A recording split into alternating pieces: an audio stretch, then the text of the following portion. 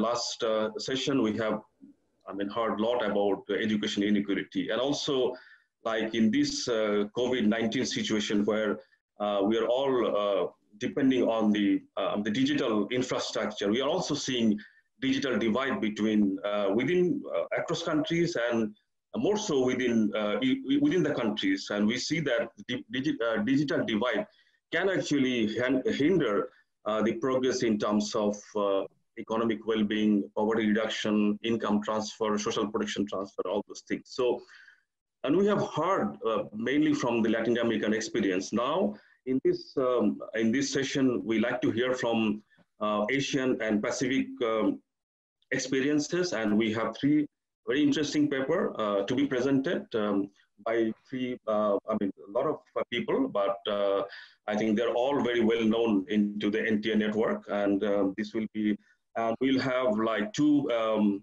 uh, discussion. I thank them for uh, their time, and they're also very well known to NTA uh, network, and they have been with the NTA, NTA groups for almost a decade. So with that, um, we will have, uh, I mean, one hour. Uh, so we're starting around, uh, I think 3.45. So we will like to close it 4.45. Um, and we have like we, uh, we will allow 10 minutes for each presenter and then I think five or seven minutes for two designated discussions. And we like to have 10, 15 minutes for Q&E. And then we, that is the way we like to uh, proceed. So with that, um, i like to uh, request Professor Narayana to present his uh, paper. The paper will be on inequality, demographic dividend, and economic growth evidence from India. Uh, good morning to everyone there. Uh, it is uh, Wednesday, 5th August uh, 2020 in Bangalore, India. I mean, South India.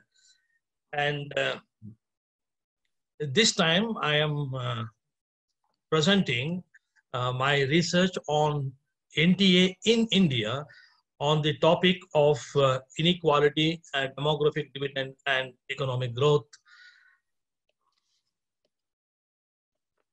Well, we all know a lot about uh, the relationship between the distributional indicators like poverty and inequality and economic growth. The relationship is dynamic and it is uh, mutual. Inequality affecting economic growth and growth affecting inequality. And there is heavy documentation and empirical evidence on such relationship in economic literature. I may, I may recollect here the voluminous uh, handbook of, of uh, income distribution edited by Atkinson and others, where global documentation of the evidence of the relationship between inequality and economic growth, poverty and economic growth have been documented. But there is one thing that we can add to that literature bring in the demographic factors in explaining the relationship between inequality or poverty and economic development. I think that one way of bringing such a relationship through demographic factors is to bring in the concept and the measure of demographic dividend. We have the NTA framework, which actually provides a framework for the interaction of the income and consumption and their inequalities with the economic growth. I'm going to present the way I think how inequality can actually be presented in the context of the demographic dividend and then linked with the economic growth, thereby providing a framework of linking inequality with economic development through demographic dividend. And I'm going to produce some evidence based on the Indian data on both income and inequalities and demographic dividend. In accomplishing this basic objective of my paper, I'm, I shall be going to answer four important questions. One, how do I relate the inequalities to demographic dividend? Suppose I have a distinction between income inequality and consumption inequality. which one will have a stronger effect on explaining and predicting demographic dividend? And what do this analysis, analysis actually imply in terms of reducing inequalities as one of the goals of the UN Sustainable Development Goals, especially goal number 10 related to reducing inequality. I begin with this simple slide, which shows the age structure transition from the year 2011 through 2000, 2100. I have four, uh, uh, four, four trends here. One is the share of the population in the working ages, 50, uh, that is from 25 years to 60 years. And also we have young 0 to 14 years, youth population 15 to 24 years, and elderly population 60 years and above. It is important to recognize that demographic dividend is closely associated with the rising share of the working population, which is evident here. So throughout the reference period from 2000, 2011 to 2100, we have the share of the working age population above 40% in the total. But it is also important for all of you to recognize that India shall also be aging in terms of the rising population of the elderly and declining population of both young and the youth. So we are very particularly interested to capture the impact of the higher share of the working age population and also the rising share of uh, the elderly population in the context of assessing the demographic dividend for India. Now, let me explain where exactly I introduce the inequalities in the context of NTA-based model of demographic dividend. Well, all of us are familiar with this model of first demographic dividend, and I don't think I should uh, spend time on this. So equation one is the familiar um, uh, way of expressing income per person or per capita income. Here in this case, income per effective number of workers as a product of the labor productivity and the ratio of effective number of producers to effective number of consumers. In this basic model, distribution of distributional aspects come into picture mainly in terms of defining and measuring the effective number of consumers and effective number of producers as given here. The distribution is relevant to the distribution of the per capita income profile, I mean labor income, and also relevant for the distribution of per capita consumption by age. So if I can develop a methodology of adjusting the per capita labor income profile and per capita consumption profile to inequality, and if I can plug in in here, then I may be able to see the impact of inequality adjusted calculation of the demographic dividend. The question is that how do I adjust the income profile and the consumption profile for inequality? Last year, I had the opportunity of publishing the NTA working paper 19, number two of 2019. There I had proposed a very simple way of adjusting the per capita income and extended later for per capita consumption for inequality using the using Amartya Sen's simple aggregate welfare function. So that welfare function has given the framework how there will be welfare losses if inequality exists in the society. So per capita income multiplied by 1 minus a measure of inequality will give us the welfare losses associated with the inequality. I take that framework into my analysis and adjust the income profile and consumption profile for inequality as shown in equation 3 and 4. So this is the per capita labor income profile and G is actually a measure of Gini coefficient of that distribution by age. Please note that this is not the aggregate measure of inequality. It is the measure of inequality by age because all these profiles are also given by age. So what I do now is I calculate the income inequality in terms of Gini coefficient age and then use equation 3 to adjust the inequality and, and calculate the inequality adjusted per capita labor income profile. In similar way, I calculate the inequality adjusted consumption profile as shown in equation 4.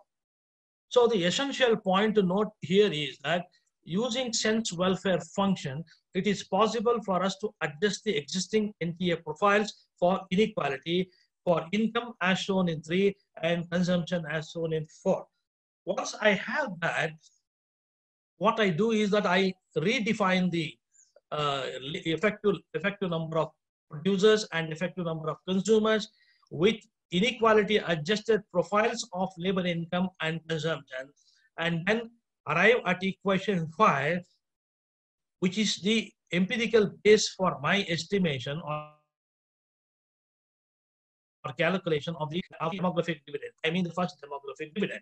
But I am aware about two important limitations in this model of equation 5. One, once the inequalities are set at the benchmark level, like that of the profile, they don't change. So there is lack of dynamism of the impact of the inequality on economic growth here. And the second one is that inequality affects economic growth, but not affected by. It means that we are treating inequality as a determinant, but not as a consequence of economic growth, which is quite different from the classical formulation of relating inequality with economic development like that of, like that of Kuznets curve, where inequality was more a consequence of economic development. So kindly remember that I am modeling here inequality as a determinant of economic growth through demographic dividend as shown by equation 5.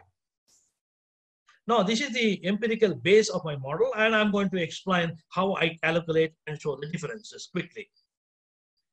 So I have uh, shown how uh, we calculate the income inequality, I mean labor income inequality and consumption in India by age and in the working paper published last year. And I shall not be elaborating on that because probably that is already known to everybody. There it was shown for two years. Now I will limit only for the year 2011 and 12 as the basis for my calculation.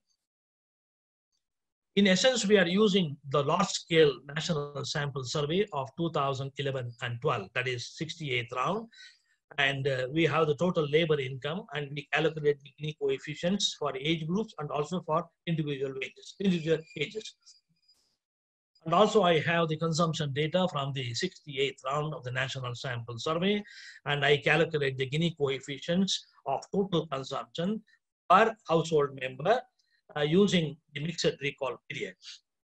I shall come to explain about these measurement details if there are questions on them during the discussion hour. So let me straight away go into the results. Now, the first is the descriptive results. I calculate the income inequality by age and adjust income inequality, adjust income profiles and consumption profiles for inequality and I get the following results. First is inequality exists in all age groups and there are remarkable differences between them. And income inequality is shown to be higher than the consumption inequality for all ages. And there is also age-specific variations in income inequality for the working age and consumption inequality for the elderly. So it is important to recognize that there are age-specific variations in the inequality in both income and consumption in India.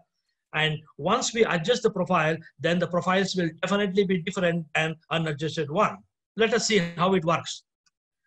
So this is the inequality in per capita labor income across age groups, starting from young, youth, and the working adults and the elderly. And you can see here that in terms of the value of the coefficient, in terms of the value of the Gini coefficient, the highest inequality is shown for the working age groups. And also it is important to recognize, ladies and gentlemen, that inequality is also remarkable at the elderly ages. Now, if I adjust the income inequality for the labor profile, I see the very big difference here. This is the, the blue one is unadjusted and this is the adjusted one. And there is a big difference in the, in the, in the levels of the profiles between, between unadjusted and adjusted, mainly because the inequal, inequal, income inequality is quite high in the working ages. In terms of consumption, I'm using a different scale here. Consumption inequality is highest for the elderly and lesser and lesser as we go from elderly to the younger group. And it is very important to know, note that consumption profiles are also going to be remarkably different when we adjust for income inequality as shown by the green line here. So the basic evidence here is that when we adjust for inequality, both income profile and consumption profile are going to be remarkably different in shape and levels as compared to the unadjusted one. Now I calculate the demographic dividend when both inequalities are present and I use the model as I explained in equation number five. What do I get about this? Uh, Professor now, Narayan, just one, uh, yeah. I mean, you have to finish within five minutes. Can you do that, please? Yes, I will do that. Within, okay, thank you. Thank you. Uh, tell me, uh, kindly repeat the time, time limit. Uh, another five minutes? Hello? Five minutes? Okay, yes. I will do that. Okay. That is enough for me. Now, when I adjust uh, uh, the when I adjust for the income inequality, these are the basic results I get in the first demographic dividend. One, for obvious reason, inequality adjusted economic support ratios are lower than the unadjusted one. I think that seems to be a mere truism, very obvious result. But growth adjusted unadjusted growth rate of the unadjusted economic support ratio does not dominate the adjusted economic support ratio throughout. This is very important. And uh, that is going to be the result of a very complex interaction of the age structure transition and then uh, the productivity growth rates and the differential inequality we have in both consumption and, uh, and consumption and labor income by age. So this is how it looks like that. So this is the economic support ratio from 2011 up to 2050.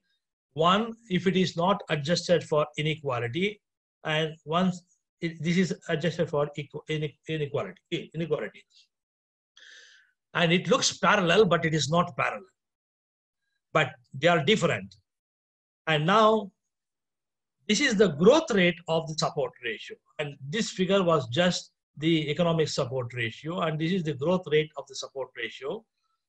And we can see when the first demographic dividend of India ends as we come here. Eh? And we can see that the unadjusted income inequality shown on the red is not consistently higher than the unadjusted one. That is mainly because of the age structure transition and the complexity of the interaction that we have. And we have calculated the labor productivity being given at 6.9%. And accordingly, we have calculated the growth effects of inequality adjusted demographic dividend as being shown here.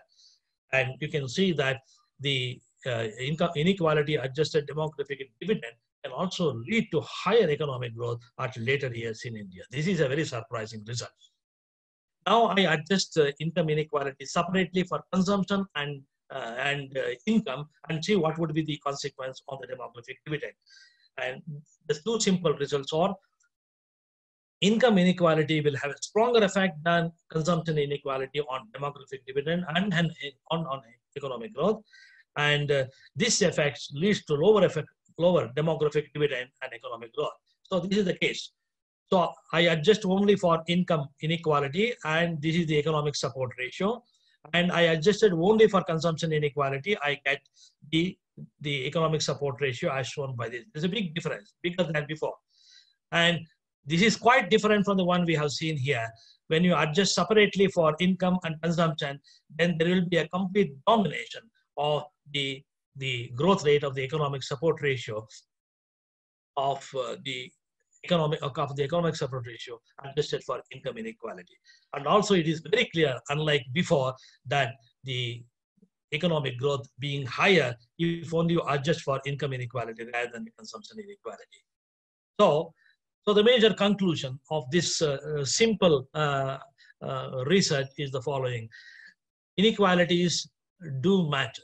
They matter not only for distributional policies, but they also matter for growth policy if and also matter through the demographic changes. So if demography had been ignored in the past, now we have brought in through the NTA methodology and also show how we can connect between inequality and economic growth by this one. The goal number 10 in, in United Nations in UN uh, SDG was is related to reducing inequality and now it was supportive of the distributional objective. Now this research can support reduction in inequality even from the growth perspective. This is all I have for my research presentation. Thanks and kindly excuse me if I have overshooted my time.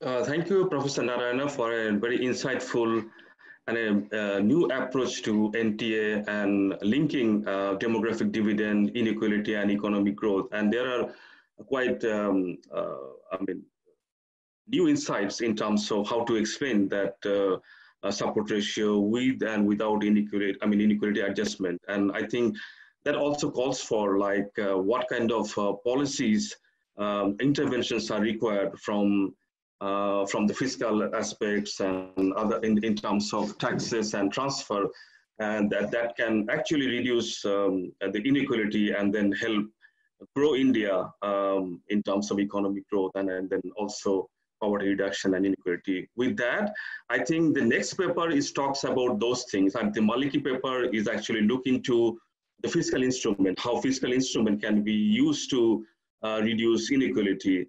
I think with that, I like to thanks Professor Narayana and also welcome Maliki for his presentation. Thank you. Okay. Thank you, uh, Mr. Bazlul.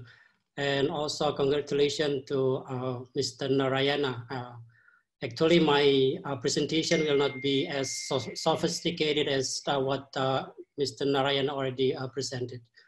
Uh, we in Indonesia try to use the NTA as simple as possible because we are trying to give an appeal to, especially to our office itself and then to fiscal office in the Ministry of Finance, as well as the statistical office on how we can use the, the NTA uh, for evaluation program evaluation as well as on how we can uh, uh, uh, draw recommenda policy recommendations for implementation of the programs. So let me share my presentation.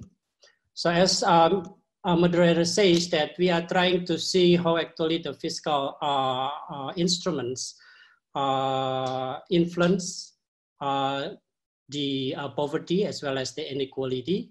And I we are, we are trying to use the NT approach. And uh, I'm, uh, we, uh, we uh, formulate this paper along with our uh, new young uh, colleagues of mine. Uh, here, uh, they are here now, uh, Fiska and also Dinar Karisma. So we try to see how actually the social transfers to reduce poverty and inequality uh, because of the time constraint, I will just focusing on the education transfers. Okay, what happened?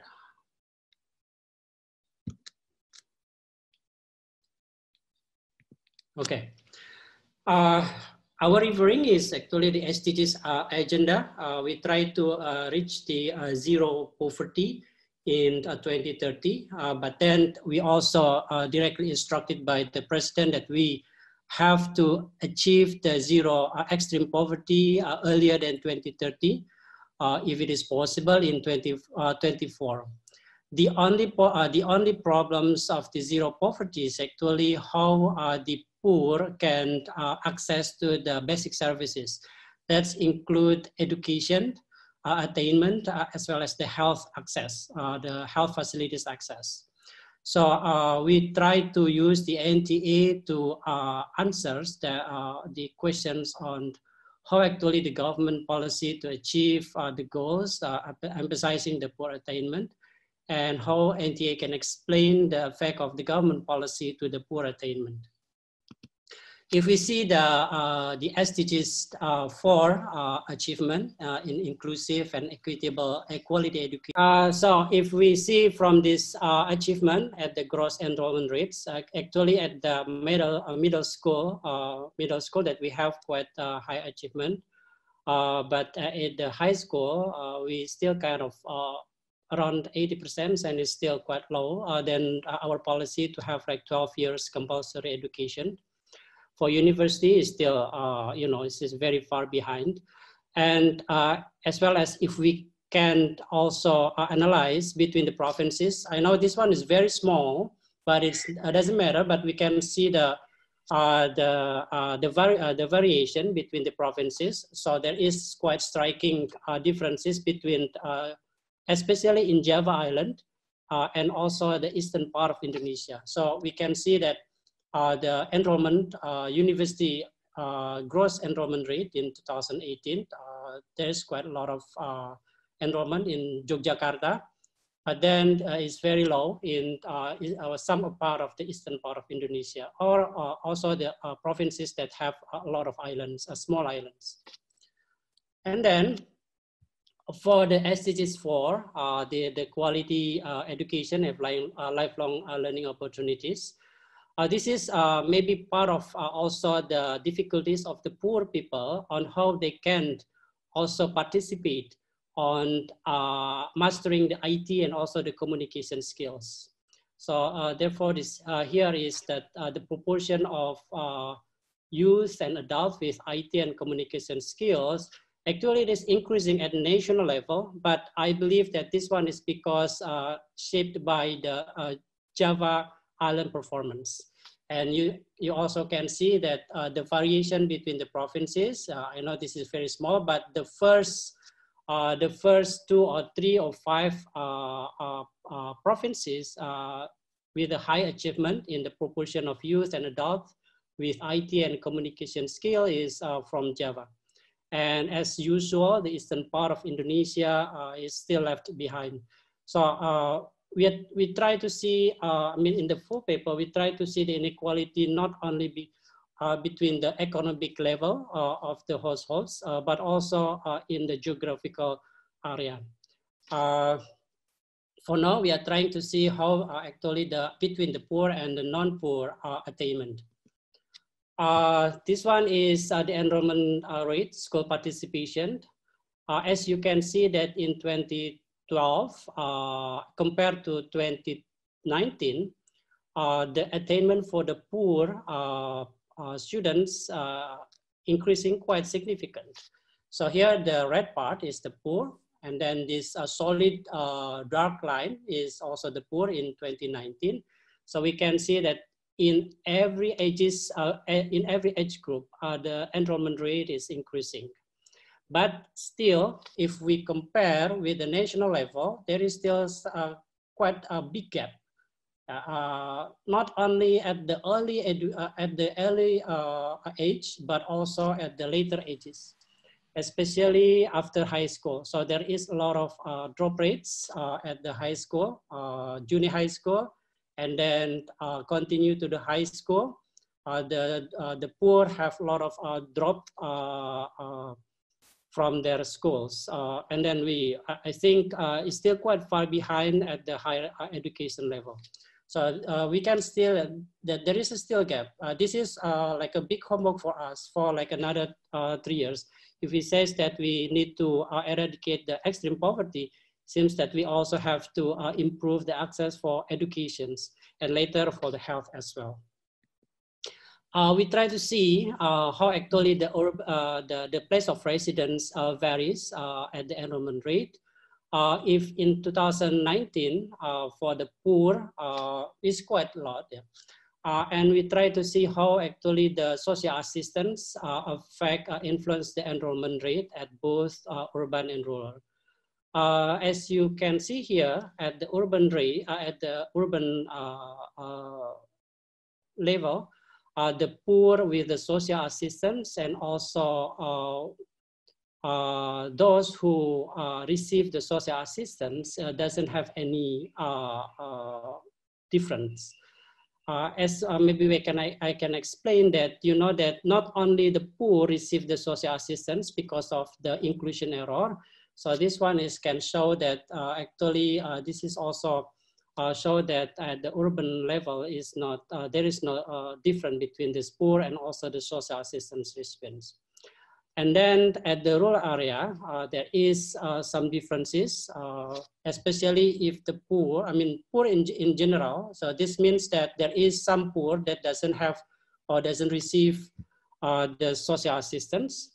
Uh, the enrollment rate is quite low, uh, a bit lower than those, the poor with receive social assistance. but then in uh, the, the those who receive the social assistance uh, in general, not only the poor, is also uh, have a higher enrollment rate, uh, especially at the higher education level. So this is our first um, attempt that uh, we uh, see that actually the social assistance, especially at the rural area, is quite influenced the enrollment rate but it is still puzzling how actually, uh, why it is not really influenced at the urban uh, areas. Uh, so we go back to national transfer account on how we can uh, explain this uh, uh, effect, this phenomena, to see how actually the education investment influence this enrollment. So we try to estimate uh, education consumption per capita in 2012 uh, compared with 2019. This is the uh, the uh, this is no, this is absolute uh, absolute value. So uh, I don't normalize it. So we can see there is some increasing. I think not only because of the inflation, but also because of the some of new type of expenses of educations that the the the household have to spend for education. But as you see, uh, the, uh, the, the profile is quite uh, almost uh, the same. Uh, uh, but the, in 2012, we see that in the early educations around like very pre, after the higher, after the pre-school age, there is some a bit a bit uh, increasing uh, cost of education uh, at, at, the private level. Uh, but in the other uh, in the other level, is I think it is almost the same, especially at the uh, junior or also senior high school. So we can see that the peak is still the same at the junior or high higher education, senior high school education. Maliki, can you finish yeah. within two minutes? Is it possible to finish within two minutes? Two minutes? Okay. Yeah. Uh, I will try to make it quick. Okay, so yes. this is the poor. The poor household is still struggle in the high school expenses. Uh, still uh, also the same as in general population. There is jump in their expenses from junior high school to uh, senior high school. Uh, and then uh, we try to see the, uh, the education investment based on the uh, fiscal instruments that we have, uh, which is the social assistance. Uh, we can see there is differences in 2012 between the poor and also the non the poor with without social assistance. So there is a gap, and then there is some the gap is diminishing within time. In 2015, the gap is decreasing. And then in poor, uh, in 2019 is also uh, diminishing. We uh, further, we are trying to analyze on how uh, the inclusion exclusion error, we uh, uh, try, explain this one, but as well on how actually the social assistance influence the educations itself. And then here we see the poor with social assistance. there is a gap again in 2012 with the poor without uh, social assistance. And then in 2012, uh, it was 2015, uh, there is a gap too, uh, but it is uh, diminishing. And then uh, in 2019, uh, poor is also have a gap between those who have the social assistance, but it is not as large as in 2015. So there is some tendency that uh, there is a differences between those who receive the assistance uh, and also those who doesn't receive assistance. And maybe some part of this one is explained by the inclusion error. Uh, in terms of uh, place of residence, we have the differences between the urbans and rural. Uh, there is some big gaps in the rural areas. for those poor with social assistance, also the poor with no, no social assistance. Okay, this is, I, I mean, because of this time constraint, we're just only focusing on education and still quite half done. then we are trying to, again, for the analysis on this education transfers, uh, and how actually the social uh, transfers, uh, social assistance will influence the investment on education, uh, especially on the poor. And then later we are trying also to see the health uh, uh, factors. for a way forward, now we are trying to see the possible explanation that is due to the same benefit given both in the urban and rural areas, but in the cost of education and its, co its component, are quite different between the urban and rural. And also we are trying to see uh, again later on how the public investment uh, and also the public transfers uh, will uh, influence this uh, uh, poor private investments on education. I guess that's, that's all from me. Thank you. Uh, thank you very much, uh, Maliki, for an um, interesting paper where you wanted to highlight the, the important uh, fiscal instrument, social assistance in terms of uh, reducing uh, inequality in education sector in Indonesia. I think the other two papers of, of these, uh, other two authors of this paper is Dinar Karishma and Fiska Aulia. Is that right, Malik? And Yes. Yes, I think uh, so. Thanks to you and your co-author, and I think that it's also from your presentation. It seems like that you need to uh, enhance your uh, social protection, uh, social assistance in the education sector horizontally and also vertically, and which will require more finances. With that, I think the our third paper uh, looks into, uh, I believe, the fiscal sustainability and um, and equity in the context of Australia, and they're using uh, the NT of Australia. With that, I like to invite James uh, Rice to present uh, their paper. Uh, it's a product of three persons, James Rice, uh, Jeremy Temple, and Peter McDonald. They're from University of Melbourne. Yes. Okay, so I'll be talking today about sustainability and equity in the Australian generational economy. As you mentioned, it's co-authored work uh, although it's still a work in progress. So uh, I welcome any uh, discussion and criticisms. So the paper itself uh, explores indicators of consumption, fiscal sustainability and intergenerational inequality in Australia for the time period between 2010 and 2066 across 72 demographic and economic scenarios, including 24 demographic scenarios and three economic scenarios. Now, so we look at consumption, fiscal sustainability, and intergenerational inequality, and I'll just talk a bit about the indicators that we use to uh, tap those things. So consumption, we look, uh, the indicator is mean per capita consumption across all ages between 2010 and 2066. The indicator for fiscal sustainability is kind of similar to the consumption deficit as described by Gallo and Monostori in a report they did a few years ago. So it is the consumption deficit. Uh, well, what I'm, I'll just call what I'm using the consumption deficit, and it's just simply the present value, the, the present value of aggregate consumption between 2010 and 2066 minus the present value of aggregate labor income all expressed as a proportion of the present value of aggregate labor income. So for the uh, calculation of present value, the discount rate used is 5% per annum.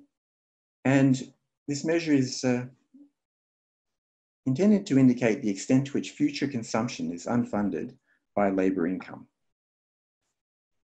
So our final indicator relates to intergenerational inequality. This is maybe a bit more unusual. Uh, the indicator we're using is the IGI index for consumption for the time period between 2010 and 2066. So this is a paper that uh, me and my co-authors have come up with. Uh, and I'll uh, try to describe it succinctly here. So it's essentially, the IGI index is essentially the Gini coefficient for age-adjusted inequalities in consumption across birth cohorts. So it's uh, intended to measure the extent to which uh, different uh, birth cohorts uh, enjoy different incomes or different consumption levels. Now, why should you care about that? I'll just say that um, it's important to realize that uh, which birth cohort you happen, what year you happen to be born in, is an accident of birth in the same way that that uh, uh, things like which race or which sex you're born in are. And I would argue that uh, um, notions of fairness suggest that uh, when it comes to things like your consumption level or income, those things uh, should be uh, as least affected by accidents of birth as uh, possible. So for, if you want more information about the IGI index, you can find it at this working paper. So I will talk a little bit, uh, explain it very briefly. So this graph, this is uh, basically the foundation of the index. This graph is uh, simply a graph of per capita income by birth cohort uh, for across different ages. So it shows how um, per cap how income has changed as different co birth cohorts have, have aged. So what you can see from this graph is that um, like if you compare different generations of the same age, in general, um, later generations enjoy higher levels of income than earlier generations. So there is an inequality there. Um, now the IGI index is, is uh, attempts to capture the inequality presented in, in this graph. So the starting point, well, so I'll explain the index. This, if I first say, um, well, the starting point, the index is to look at, for, is to compare two birth, two adjacent birth cohorts over the ages for which there's data for both birth cohorts. So for example, if you look at the, the uh, two green lines, the IGI index would be based on the section of the two green lines that overlap, the ages at which there's information for both birth cohorts. And uh, using the data for those overlapping ages, um, we come up with we come up with a indicator of the income of one birth cohort um, expressed as a proportion of the income of the previous birth cohort. Now we do that for all birth cohorts. So for all birth, co birth cohorts, we have an indicator of the income of um, one birth cohort relative to the previous birth cohort for this particular time period. In this case, 1981, 82 to 2019. Now, just ch chaining together all of those indicators, you come up with another set of indicators, which is uh, the income of one birth cohort expressed as a proportion of, say, the first birth cohort.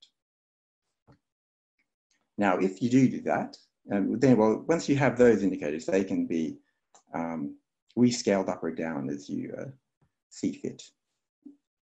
Now, so once, you, so this is an example of the uh, those indicators that are the um, age-adjusted income of birth cohorts relative, in this case, to the uh, age-adjusted income of the birth cohort born in 1915. So you can see generally that uh, uh, age-adjusted income rises with year of birth. So that, for example, um, millennials, you know, in general, uh, enjoy roughly uh, twice the income that uh, baby boomers do. Now, that's mostly due to the 40 years of economic growth that separates these two uh, generations. So there's an, so you can see that inequality there. And uh, the IGI index is essentially the Gini coefficient for this distribution. Okay, so that's, uh, that's the measure of uh, intergenerational inequality that we're using. Now, we, as I mentioned, we look at 72 demographics, uh, demographic and economic scenarios, including 24 demographic scenarios. And uh, these are uh, various uh, permutations of the total fertility rate, life expectancy at birth, and net overseas migration for the time period from between 2010 and 2066. And we also look at three economic scenarios. Now, the first one is um, uh, we assume that consumption and labor income grow at 1.5% per annum. Now, the second economic scenario is what we call the component specific growth, which is that individual components of consumption and labor income. So, for example, education consumption, uh, health consumption, and so on. Uh, they grow at the rates at which they grew between 1981, 82, and 2019. So we, we uh, get the growth rates and then assume they continue on into the future. Now, uh, it should be noted that between 1981, 82, and 2009-10. generally, the components of consumption grew by more than 1.5% per annum. So they grew at a faster rate than under the equal growth scenario. Now, while components of labor income grew by less than 1.2, 1.5% per annum, so less than in the equal growth scenario. Now, our third scenario is just zero growth, that there's uh, yeah, no growth in uh, labor income or consumption, which uh, is uh, more relevant now maybe than we had hoped. Okay, the data sources used are the Australian National Transfer Accounts for 1980, which we have data for 1981, 82 to 2019. Uh, so the, the data before 2019 is used just to estimate the rates for the uh, uh, component specific growth scenario. Uh, most of the analysis is really based on the 2009-10 data. Now, we also use the Australian Bureau of Statistics population projections from 2017 to 2066. Uh, that's the full, that's the full range of the, the latest ABS population projections. Okay, so I'll just talk uh, quickly about some results. So uh, so th these results will discuss how the various uh, um, um, characteristics of the scenarios affect mean consumption, consum the consumption deficit, and the IGI index. So the number here, for example, for low fertility, um, say low fertility mean consumption is just the mean consumption for all of, under all of the scenarios that, uh, in which fertility is low, and similarly for the medium fertility and high fertility. So what does this tell us about the impact of the total fertility rate on, uh, on these measures? Well, really, there doesn't seem to be very much impact on uh, mean consumption. Uh, there's a slight increase in, uh, well, as fertility increases, there's a slight increase in the consumption deficit. Now that's uh, probably because of, um, over this time period from 2010 to 2066, there's a, a growing numbers of, well, higher numbers of uh, young people. And in terms of the, the, well, the total fertility rate has no impact on um, intergenerational inequality as, me as measured by the IGI index. All right, moving on to life expectancy at birth. Um, life expectancy at birth has uh, little income, a little uh, effect on uh, mean consumption or the IGI index. It has a slight increasing, uh, higher life expectancies tend to increase the consumption deficit as you, as uh, might be expected. Okay, finally, uh, well, uh, next, turning to net overseas migration. So we can see going from left to right on these different uh, columns is uh, going from zero net overseas migration, increasing net overseas migration until the high level of net overseas migration. And you can see that uh, as you increase net overseas migration in these scenarios, uh, mean consumption tends to increase.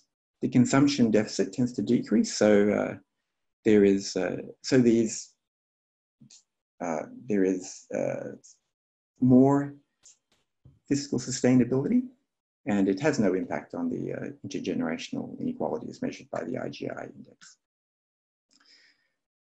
All right, finally, the final result I'm going to present uh, relates to the different growth scenarios.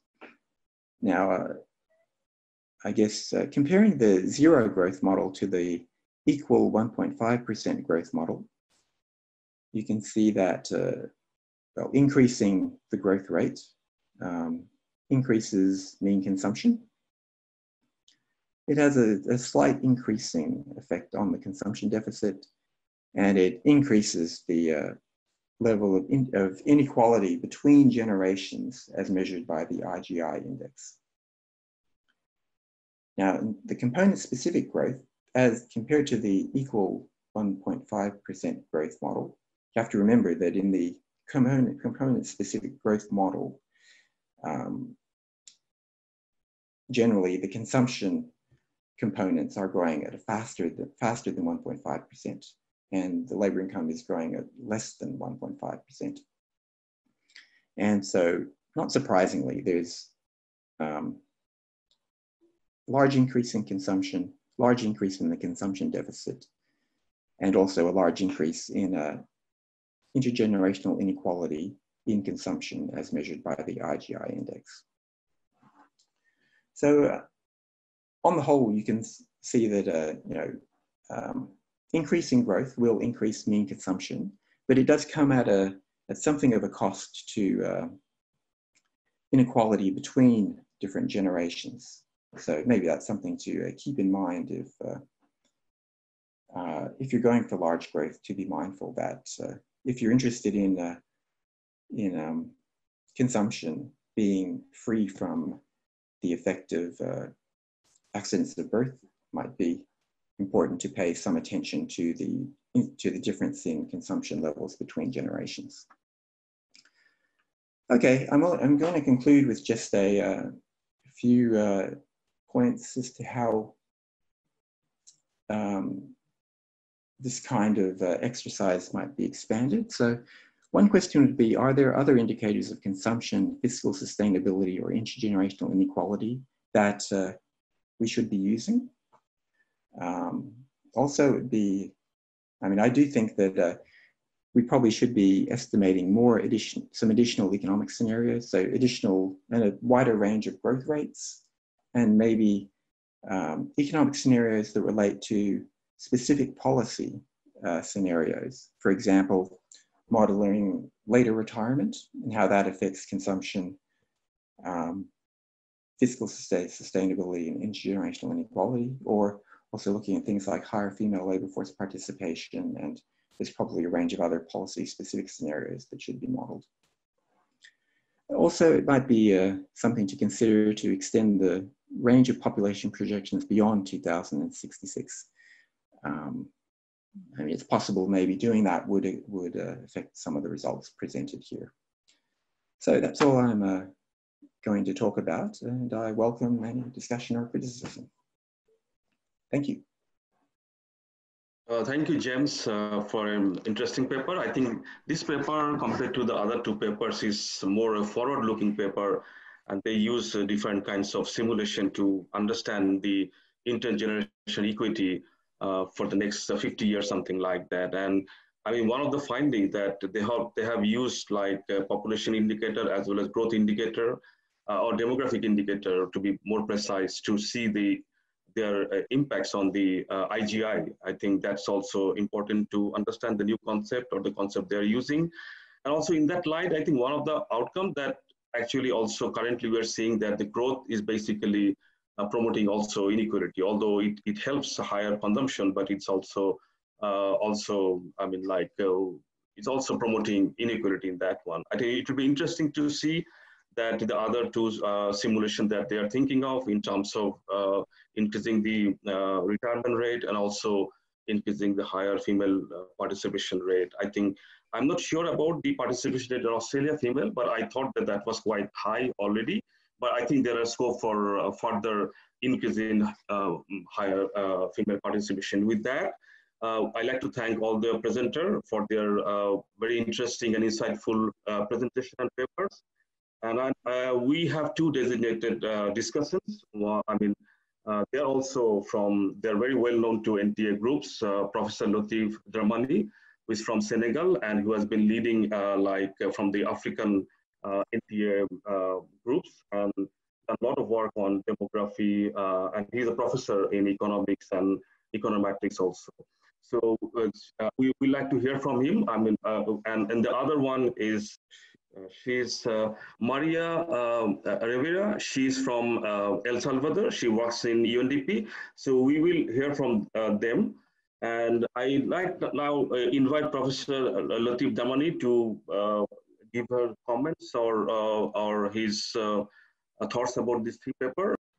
Yes, Morning, everybody. Uh, here is morning in Senegal. Okay. Yep. Then um, I'll go to the first paper, uh, the paper of, uh, of um, uh, Prof. Narayana. I think that is, uh, is a good a good paper. There are three three good paper. Uh, I see two uh, two paper on uh, uh, on um, NTA, uh, NTA uh, model uh, modelizations, modeling, and one paper which Maliki paper, which I just see I just see it now, which is a policy paper. And uh, for the first paper, um, paper on inequality, demography, dividend, and economic growth, uh, evidence from India. Uh, it's very interesting as is present an innovation. Uh, I try to link uh, inequalities, DD, and economic growth. And uh, I have uh, two questions and uh, one and one one or two uh, one suggestions. The, my um, my question is about clarification clarifications as and uh, as you see, um, the first question is how to uh, statistically uh, test and confirm that uh, uh, gamma A and phi A contain inequalities. I, I, see the results and uh, perhaps I don't see the um, uh, the test and uh, I think that uh, Prof. Naran can can talk uh, can try to uh, to explain uh, to explain me or to explain to the audience how it do all this because I know that under this work there, there are a lot of estimation, calculation, and is not appear is not clear in uh, in, uh, in the presentation in the in the the PowerPoint. Perhaps it's uh, it's uh, it's more clear in the paper. I don't see the paper, but uh, that's my one of my concern. And the second is, uh, as we see, uh, we have effective producer in the numerator, and the effective consumer in the denominator. And I'm I'm I'm wondering is can we um, the, comp the compensations about uh, these two uh, these two parameters. And uh, I will add the third. The third question is about um, um uh, as uh, we we know that uh, we when I will take gamma A, it can it's for for consumption, now for um, income, income inequalities, uh, to try to have income inequalities. And my question is uh, uh, about endogenities. Is there, uh, when we take, um, for example, uh, a, a, function like um, the same functions of consumptions, we know that we need to have consumption to to income to consume to consume. Then and I my my my question is about the, the relationship uh, between uh, the link between the gamma and phi. Uh, in this uh, in this uh, when we try to model to model all this, and uh, for suggestion, I think that as um, statistician and economic econometrics econometrics and we need uh, uh, to to know if, uh, for example, in the decomposition of gamma A, can we have is is it called effects?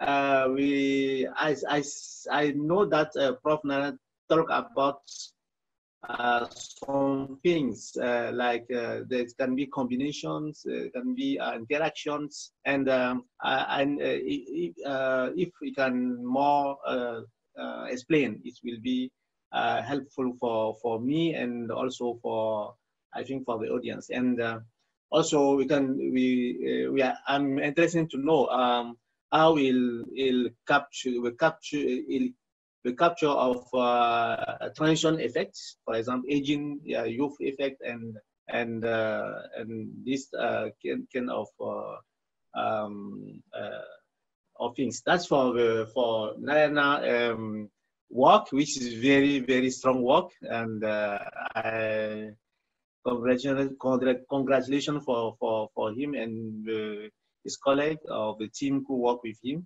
And for the, the second paper, um, I, I see the paper, uh, the, the, presentation is the, the presentation of, uh, of sustainability and equity in Australian international economy and uh, which also is uh, uh, I, I, know as as modeler that is a big big big work that James Rice and his, his all his colleagues are doing is very very interesting is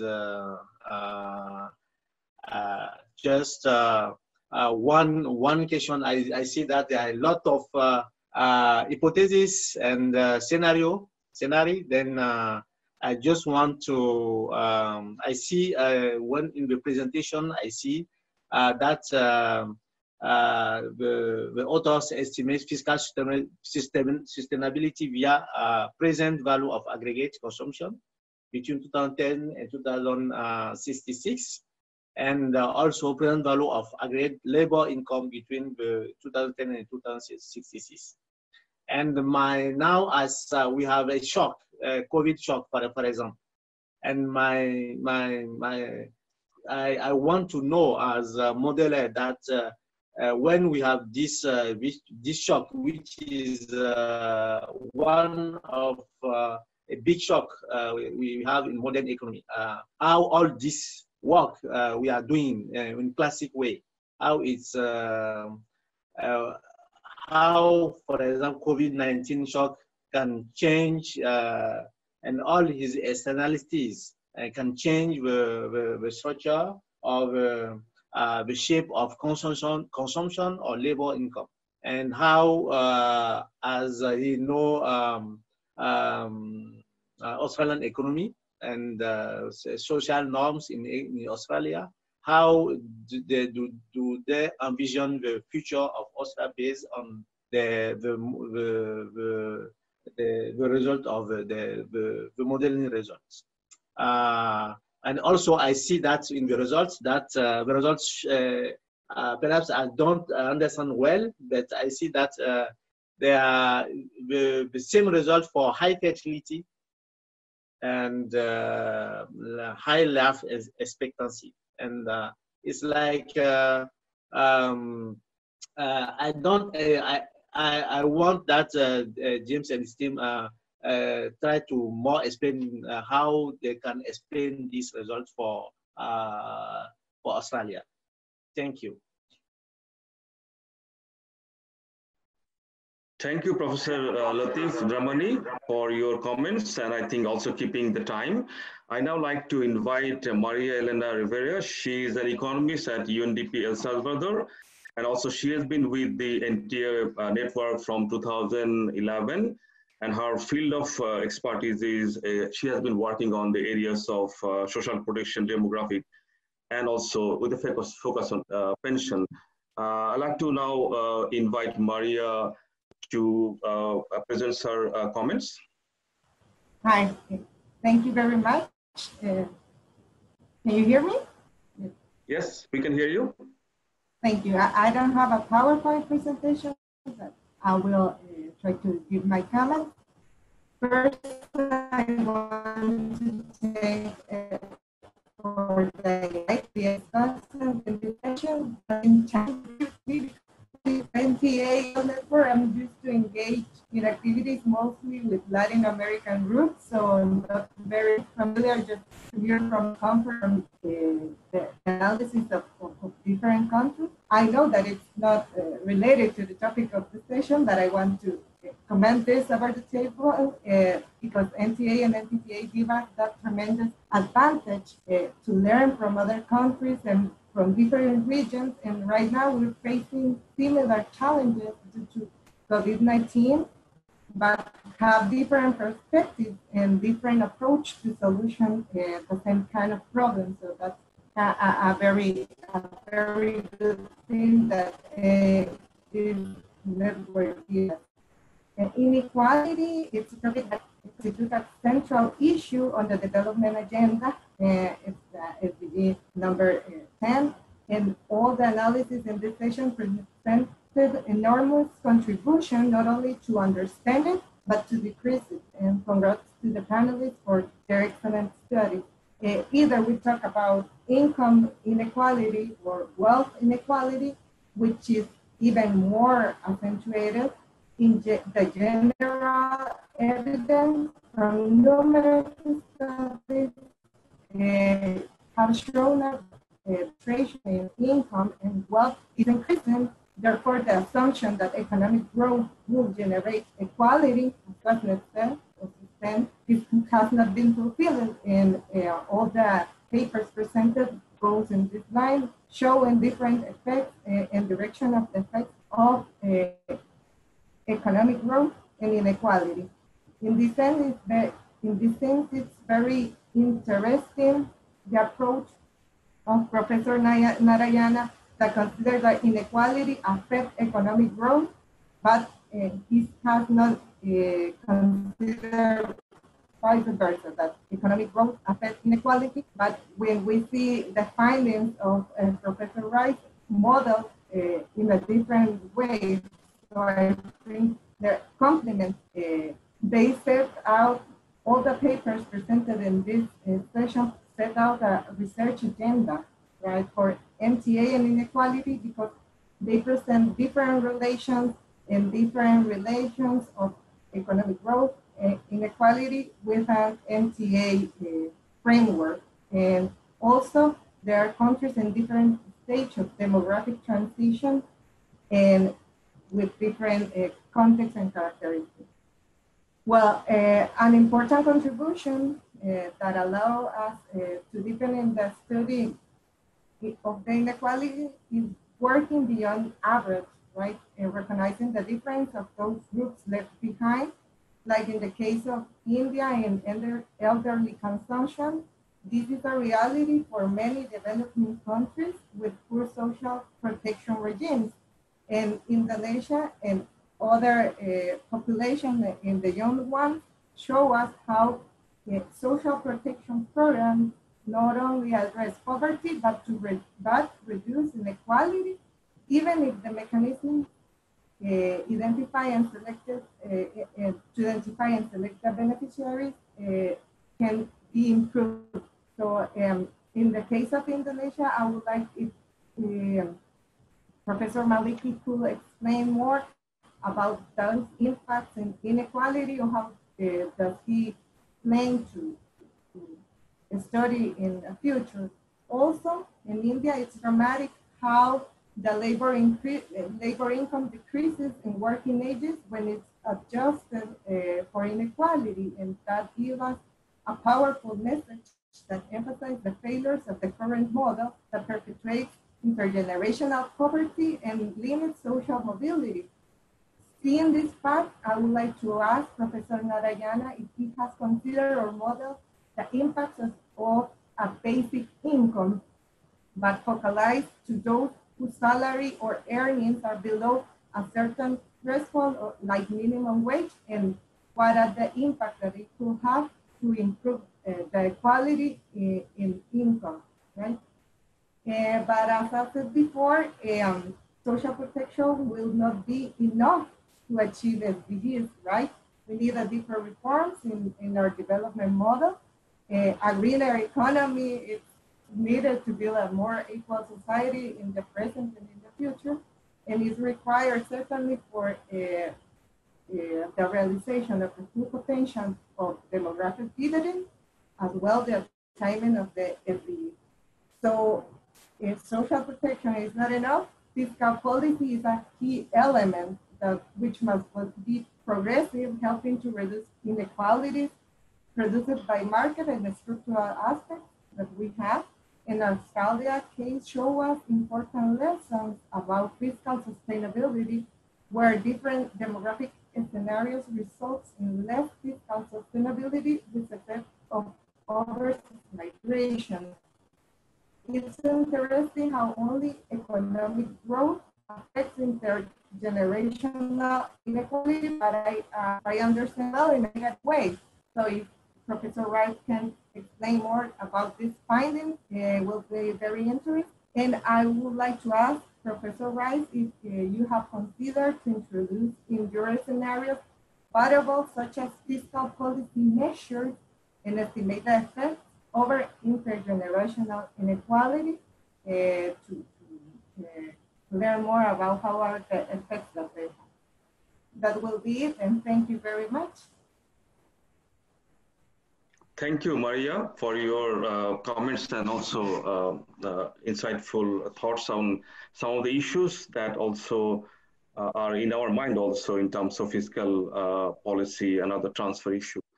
Uh, I think we are I, am pretty sure we're over by 10 minutes now, but uh, I think I, I, am allowed to go over for another 15 minutes. And I like to take this opportunity to, to open, uh, for open uh, to take some questions. Maybe we can take uh, three to five questions. Um, and for for the presenter, so I think uh, if you if you uh, want to ask any question, you can do that. Thank you. Can I say, so I, I know it's already late, I, uh, I just say something really quick about Maliki's presentations, and I think all of the presentations were really, really interesting. I'm very interested in the concept of inequality and poverty. So uh, for Maliki's presentation, I think if he could do uh, a new dimension, like if he looks, uh, can look at that data by gender, it would be really interesting. I know we necessarily don't have data on based on gender, like NTA data based on gender. If, but if he could find a way, it would be really interesting. Uh, and particularly it's interesting for Indonesia because uh, when I wrote my dissertation under supervision of Professor Mason and Professor Sang-Hyop Lee, I noticed that um, like in Indonesia, uh, for elementary school, the school enrollment and school participation is more similar based on gender. And when the students go to higher school, junior high school, and senior high school, the gap gets bigger. And I have a hypothesis, which I haven't tested yet. And my hypothesis is that in the rural area, uh, they don't have higher school. Uh, and then um, they send both their, uh, like both boys and girls to a school in, in elementary school. But when it comes to higher school, the parents prefer the boys only and they don't send girls to more remote, I mean, to a city or somewhere far away for education. So uh, I think that makes it really interesting, and it could be it could really vary by um, rural and urban area and by poor and rich. Yeah, thank you. And I like to, I mean, like give uh, one minute to all three presenters to just um, uh, final words, something like that. I will start with Professor Narayana. For that, uh, Dr. Atif has given two comments. One is the confirmation of the presence of inequalities in consumption and income distribution by statistical tests. Yes, we have also constructed the confidence interval and standard errors have been calculated for both inequalities and they are well within the 95% uh, confidence interval. So it is confirmed that the results are statistically valid.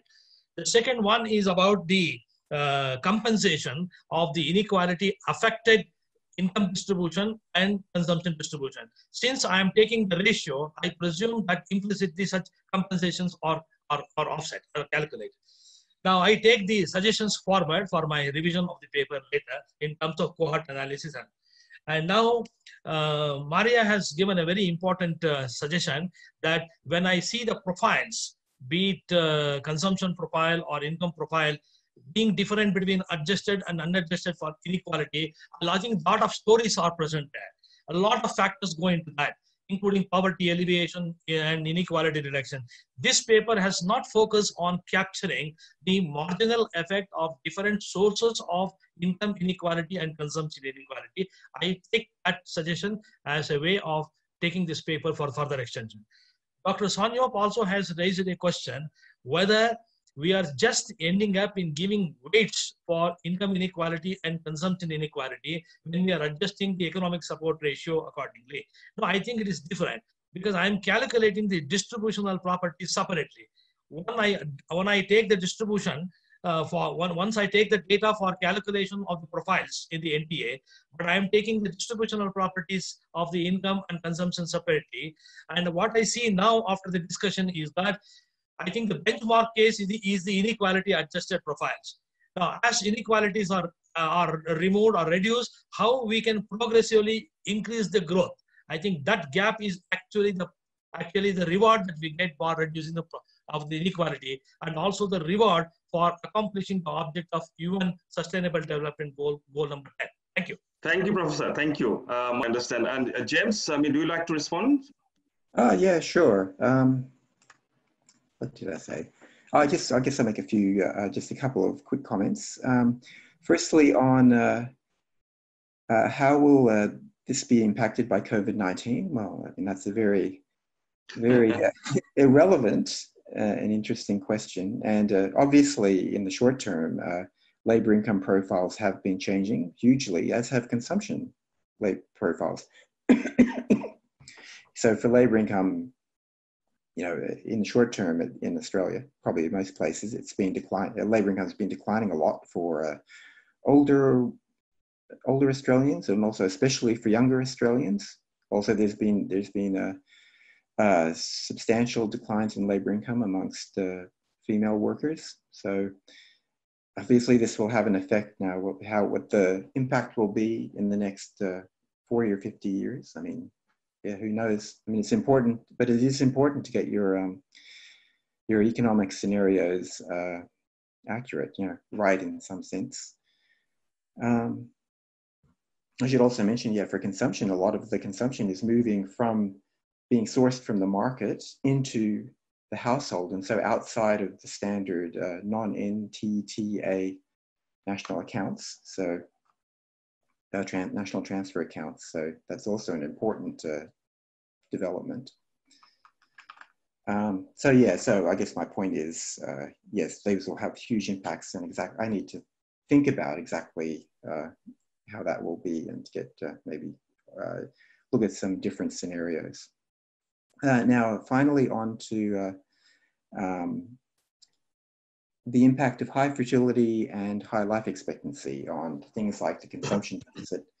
Just mention that, uh, I mean, it's true the, the overall impacts seem similar, but uh, obviously they are probably operating at different uh, ends of the age distribution. So um, high fertility probably operates through uh, increasing the numbers of uh, young people who are uh, whose life cycle, who have a life cycle deficit, whereas high life expectancy may have the same overall effect, but it operates through older people who are also have a life cycle deficit. So, I mean, there's overall results might be similar, but there are, uh, you know, there are different mechanisms. I think that's all the comments I made. Unfortunately, I, uh, my internet was playing up, so I didn't quite get uh, Maria's questions. But uh, yes, uh, thanks for yeah. those. Thanks for your session. I think this session has been a very good session with very three very interesting paper with, with comments from our designated discussions were also very relevant. I think participants were, were very good.